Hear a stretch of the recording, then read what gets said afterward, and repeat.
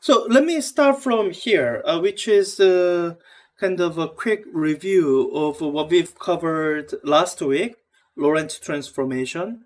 And this is what Lorentz transformation says.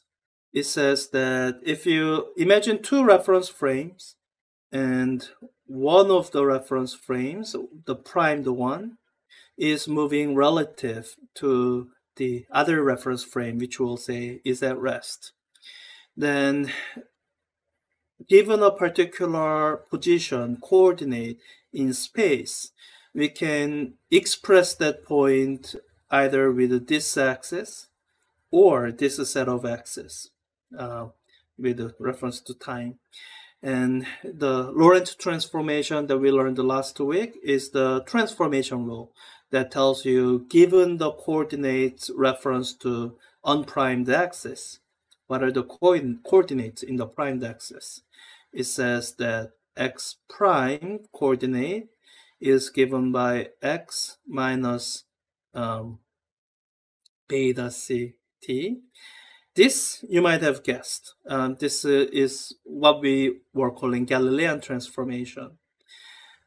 There's a modification here in that there's a gamma factor here where gamma is, oh wait, I should define beta first, where beta that I wrote here is defined as v over c, that's a speed in unit of c, and gamma is given defined as 1 divided by square root of 1 minus beta squared.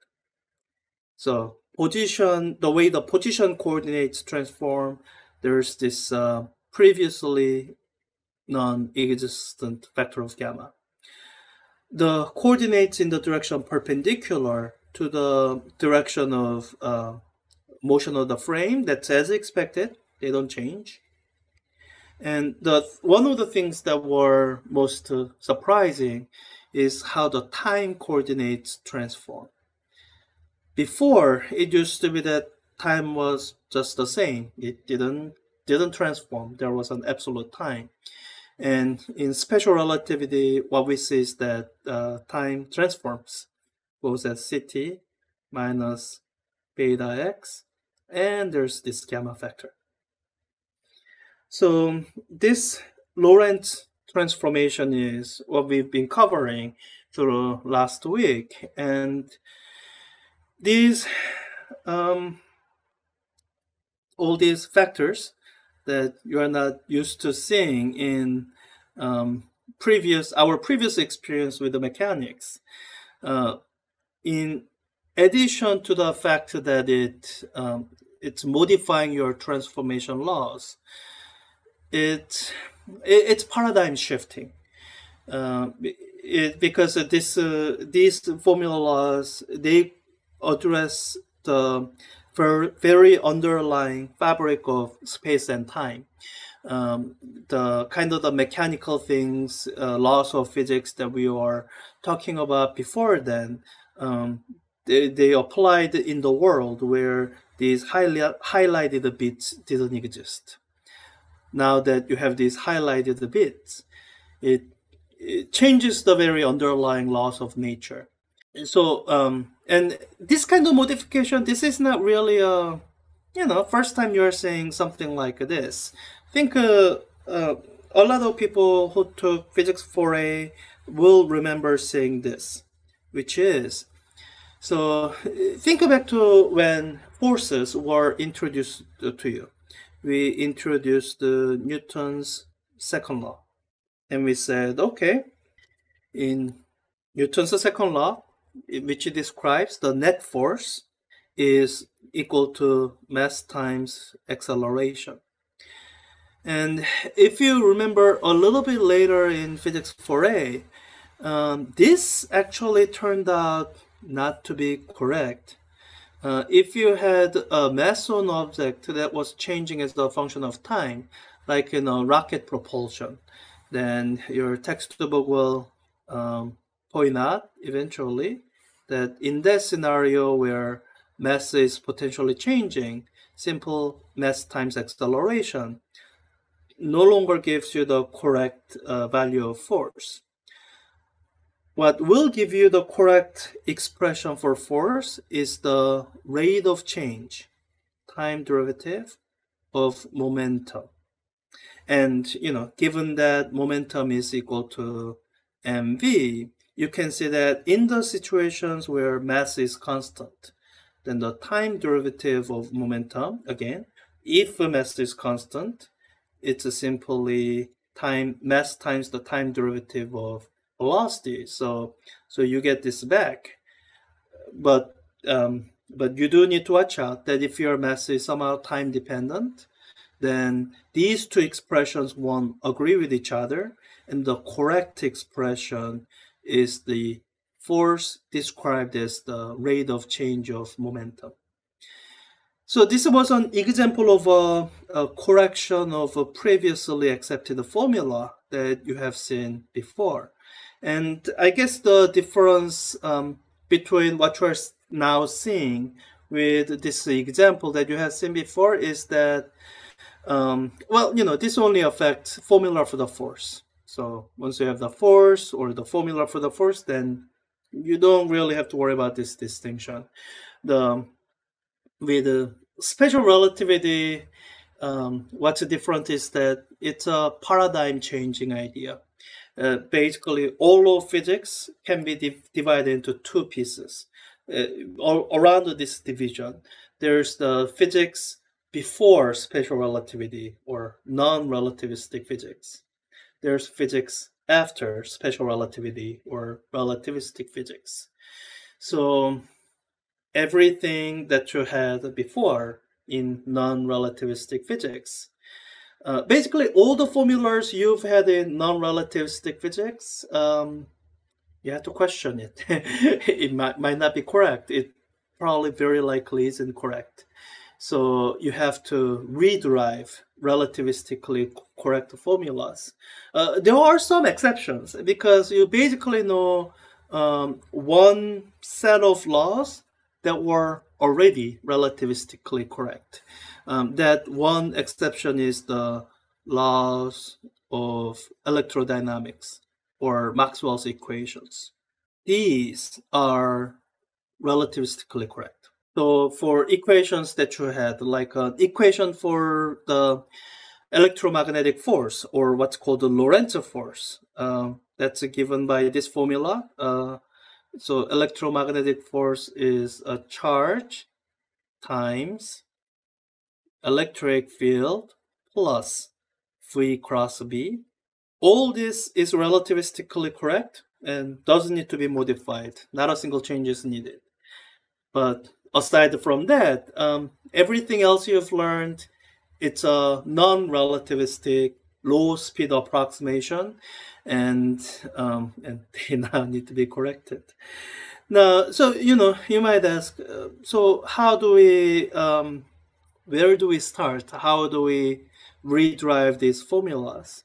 And uh, there are some principles you can lean on, and um, in fact, I think I used this to rederive one of the formulas earlier. Um, you can rely on this, which is that general principles um, for which I can give examples like you have conservation of momentum, which you actually saw me use to rederive an expression for relativistic momentum, or conser- um, principles like a conservation of energy and a principle of relativity, I guess, and mathematical operations to the extent that they have nothing to do with the physical or you know eh, eh, to the sense that just talking about math like taking derivative doing integral. So mathematical operations. All these um, uh, general principles uh, continue to hold so just because we have to take relativity into account doesn't mean things like conservation of momentum and conservation of energy has to be overhauled. They still remain and we can still use them.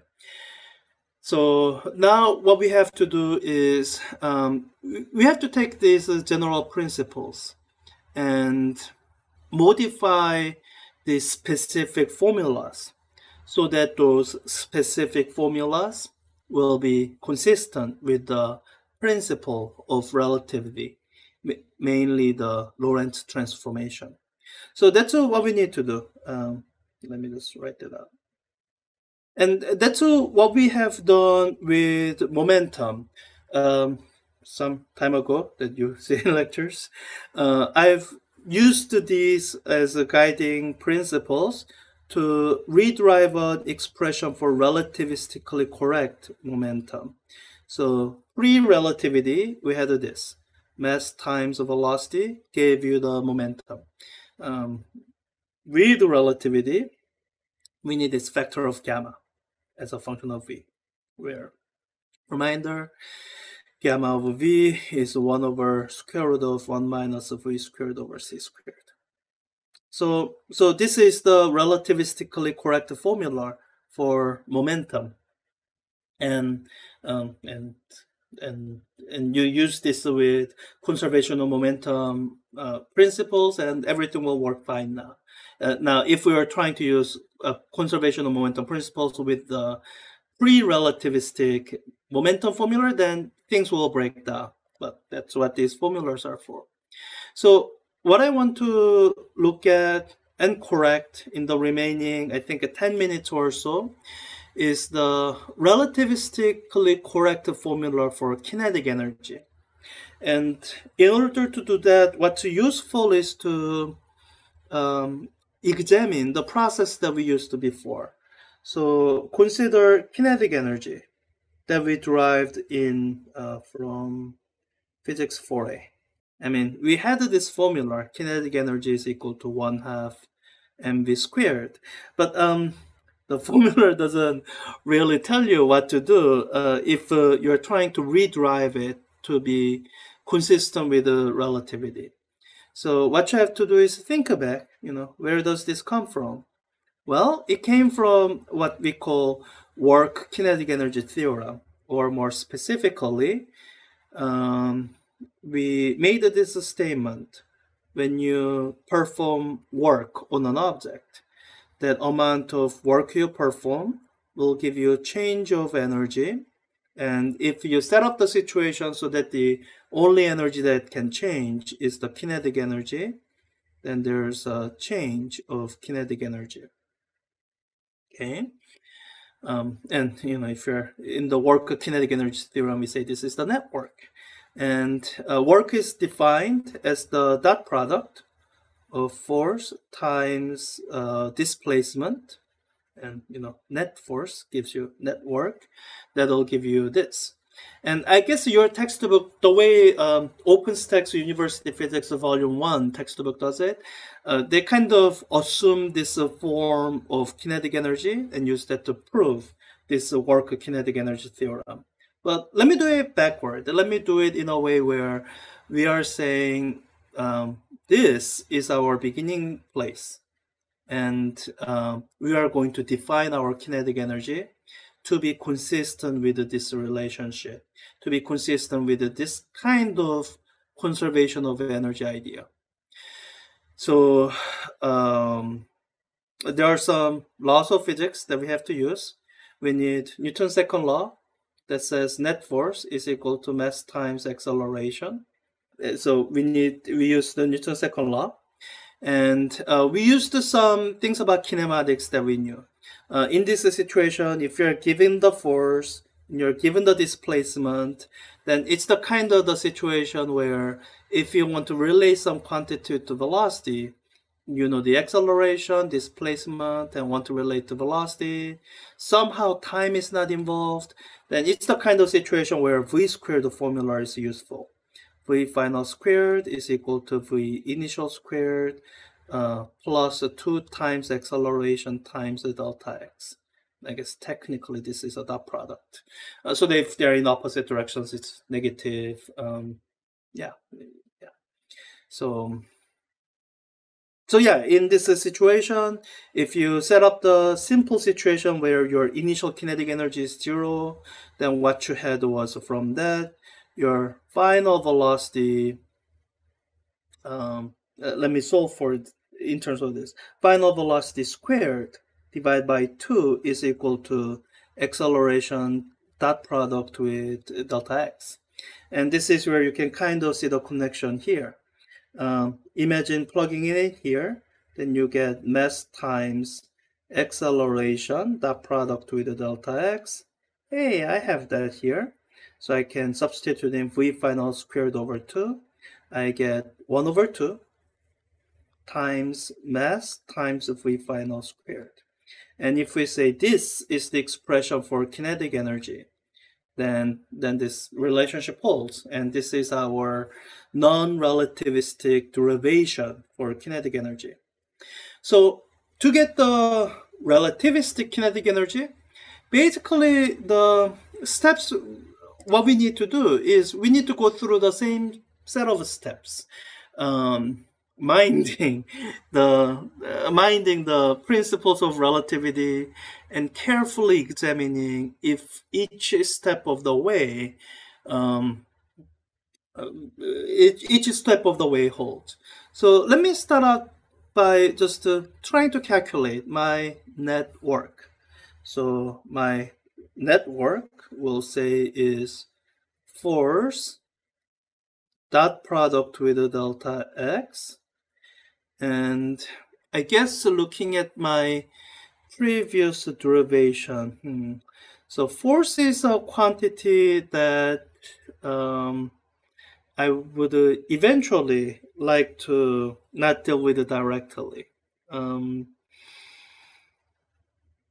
so so I, am I'm imagining this picture here you know imagine a flat ground i have some mass sitting here that I'm going to say I'm pushing with some force F and this is starting at speed 0. And at some later time, I'm going to have this mass that's moving with some final speed, some final state. So as I imagine doing that, um, uh, let me set it up this way. Uh, let me try to set it up so that my uh, the rate of change of velocity which will be changing from zero to some final value. Let's say this is what I'm trying to keep constant. So, which means I think I'm trying to say I'm going to try to keep the uh, trying to keep the acceleration constant. Yeah, constant acceleration. And in the previous situation, when you had a constant acceleration, you had a constant force and that really gave a lot of nice situation setup. And what I will tell you is that um, we don't have that anymore because um, the first thing I will tell you is that this relationship that we had before that's no longer going to hold. You can see here. So if I say force now I'm going to be super careful and start out with my general expression for force, the rate of change of momentum. And before when momentum was um, when momentum was mv, and I could say, oh, mass is constant, then I could just say, oh, time derivative velocity gives me acceleration, gives me that. I could do that. But now watch. I'm doing time derivative of gamma as a function of v times mv. Now, in this expression, I have two terms that are potentially a function of time. So v will be function of time with this. And because gamma is a function of v as well, this is also a function of time. So when I take this derivative, uh, I'll need to use product rule. I have a product of two functions to apply derivative to one and then to the other and whatever it ends up being, what I can say is that it's not going to be equal to gamma over v times m times the time derivative of um, the velocity. Like this is the one thing it's not going to be. So, so when I have constant acceleration, um, I'm no longer going to have constant force. So as I imagine pushing this block, I'll have a situation where my force will be changing. So that's the very first thing that um, we have to realize and uh, I think I'm gonna remember this. Uh, uh, you know, let me copy it over. So I'm gonna need that as I do. Um, so uh, um, uh, that's what we have to handle first. The the realization that our as we try to do this work at a constant acceleration, um, our force will no longer be constant. And you've seen you've seen me deal with the situations like this before, you know, where so before uh, we would have said, okay, I have this displacement delta x. I'm applying this constant force F. So I say work done is force times the total displacement. And when we can no longer do that, because our applied force will be a function of something else, so it won't be constant, then our approach, as you have seen before and as you will see now, is to take this uh, entire interval and divide it up into tiny little pieces and divide it up in such a way that we say, okay, I know how to handle this very small interval, small infinitesimal interval dx. And once I know how to handle that, I'll add it all back up. That'll give me the total change. So that's what we are going to start. We are going to start by saying, okay, I don't know this, know how to handle this entire quantity, but I can calculate infinitesimal amount of work done over an infinitesimal interval. And the force at that infinitesimal interval will be the time derivative of the momentum, dot product with the dx. So that will give me the infinitesimal amount of work done. And I will integrate this from some initial condition to the final condition, and that will give me the total amount of work done. And what I want to say is that we will say all this is going to equal uh, the change of kinetic energy from initial to final. So with that idea in head, let's uh, just uh, um, start substituting things in. So we have this expression for momentum, relativistic momentum. So we'll say, okay, my relativistic momentum is gamma mv. So let's say uh, I'm going to be integrating from some initial condition to a final condition, uh, my time derivative of gamma. And let me make this one dimensional just so that I don't have to keep writing vector notation stuff. Gamma mv, we'll say um, the direction of force, velocity, velocity change, and um, displacement, they are all in the same direction, dx. Okay, um, I probably should um, simplify this a little bit. The first bit of simplification is, you know, this gamma and V, uh, they actually are related to each other. You know, uh, gamma is given by 1 over square root of 1 minus V squared over C squared.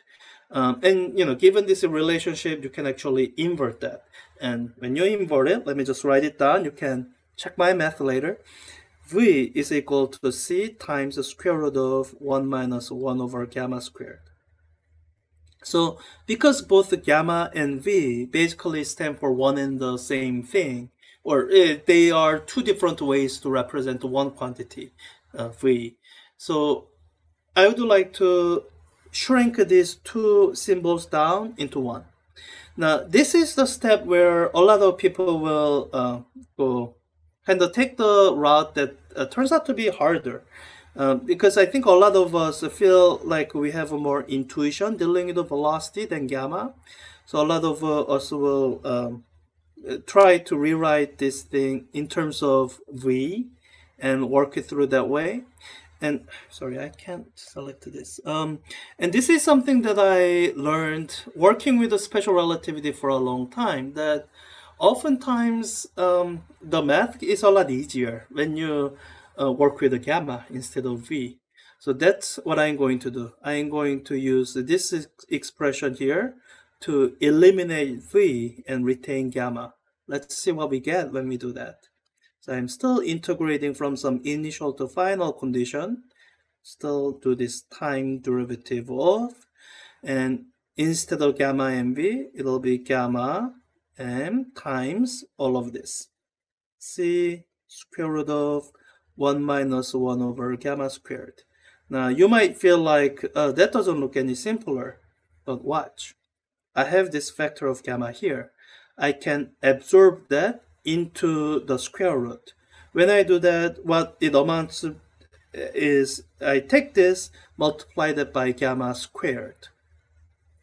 So when I do that, the first term becomes gamma squared. Now the second term, it'll be gamma squared times 1 over gamma squared. So this just cancels out. So um, so this expression becomes, Absorb that in. This expression here, it becomes mc square root of gamma squared minus 1.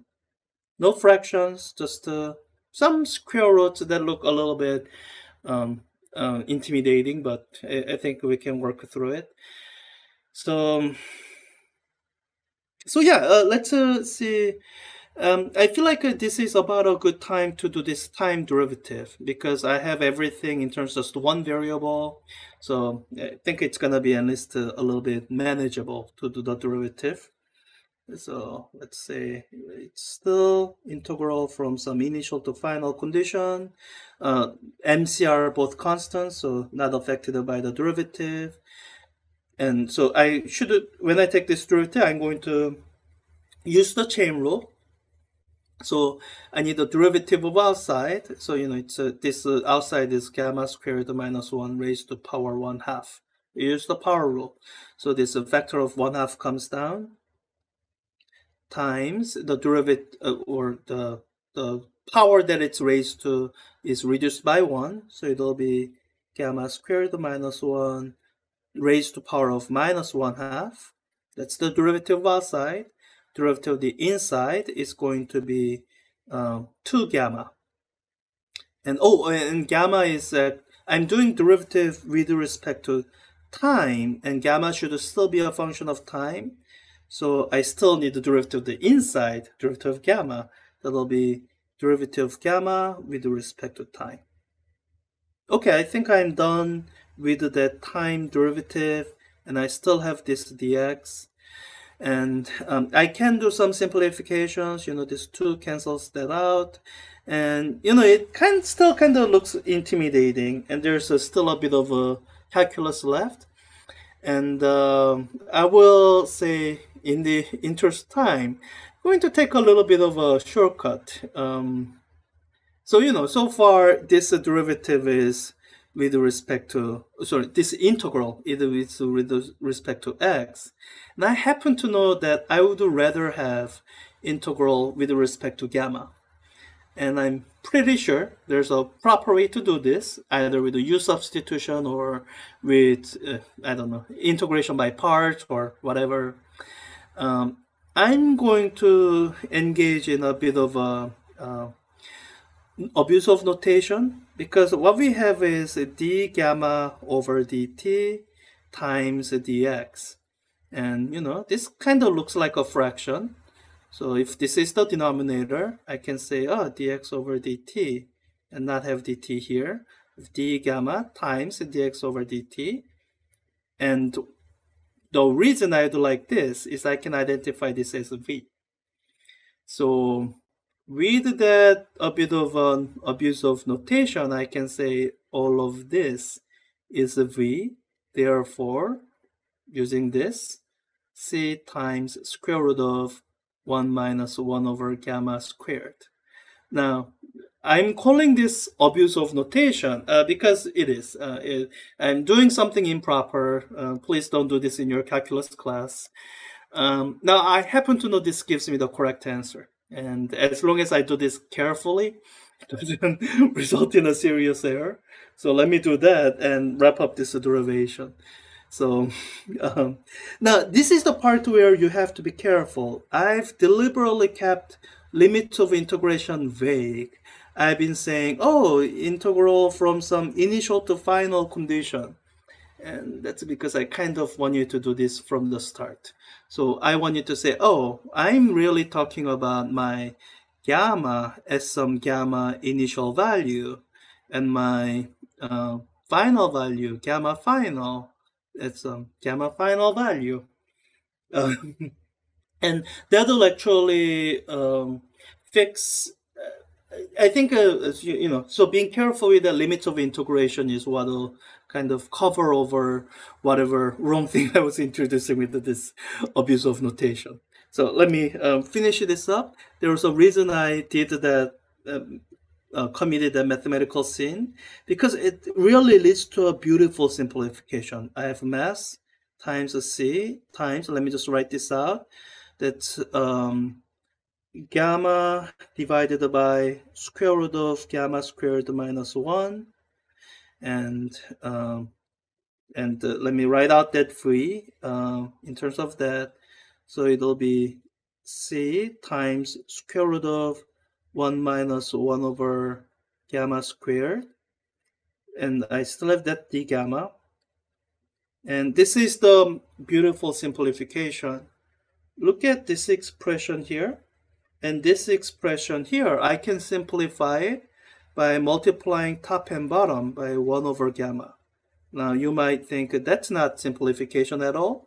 I mean the numerator becomes 1, but the denominator, this is where you will see, absorbing this 1 over gamma in, gamma squared becomes 1, minus this becomes 1 over gamma squared, and square root of that, that is the same thing as that. So these two cancel out. That's the simplification.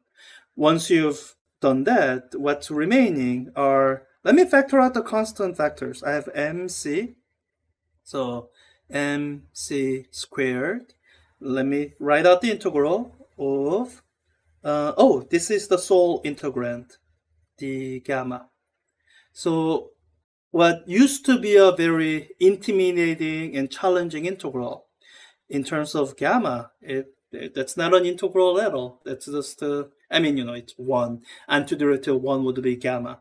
So that gives you this a simple answer that the result of this integration is gamma um, evaluated from gamma initial to gamma final or um, it's a gamma final minus gamma initial.